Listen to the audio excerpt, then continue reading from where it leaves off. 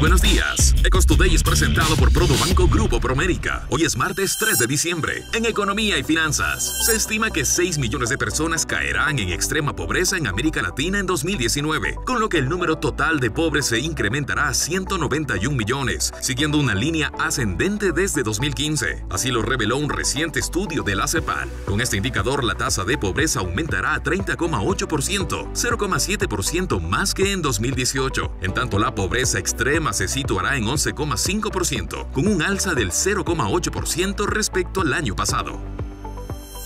En negocios, China levantó las restricciones a las exportaciones de camarón ecuatoriano. En septiembre pasado, cinco de las más grandes exportadoras, Industrial Pesquera Santa Priscila, Expalsa, Congelados y Frescos y Winrep fueron suspendidas temporalmente por la detección de los virus mancha blanca y cabeza amarilla. Sin embargo, Ecuador pudo desvirtuar que se trataba de un falso positivo en el primer caso y de un mal que está controlado en el país en el segundo.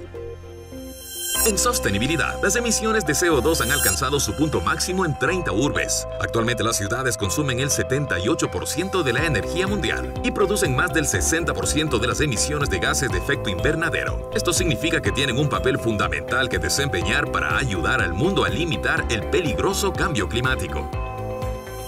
En disrupción tecnológica, Toshiba desarrolló una tecnología para detectar mediante una sola gota de sangre hasta 13 tipos de cáncer, con una efectividad del 99%. Este dispositivo analiza el ARN y en dos horas presenta los resultados, permitiendo un tratamiento temprano y mejorando la calidad de vida de los pacientes. La compañía japonesa revelará más detalles sobre esta innovación en el encuentro anual de la Sociedad de Biología Molecular de Japón esta semana. En tendencias, la navegación en Internet superó por primera vez a la televisión. De acuerdo a datos de la firma Zenit, este año el consumo promedio de Internet alcanzó los 170 minutos por persona, mientras que en el caso de la televisión se redujo a 167 minutos. De seguro en 2020 esta tendencia se acentuará ante la disminución en las ventas del sector industrial y de la construcción en Estados Unidos. Los indicadores bursátiles de Wall Street presentaron su peor caída en dos meses. El Dow Jones retrocedió 0,84%, el Standard Poor's 500 0,80% y el Nasdaq 1,18%. En los commodities, el petróleo WTI se ubicó en 56 dólares el barril después del anuncio de recortes por parte de la OPEP.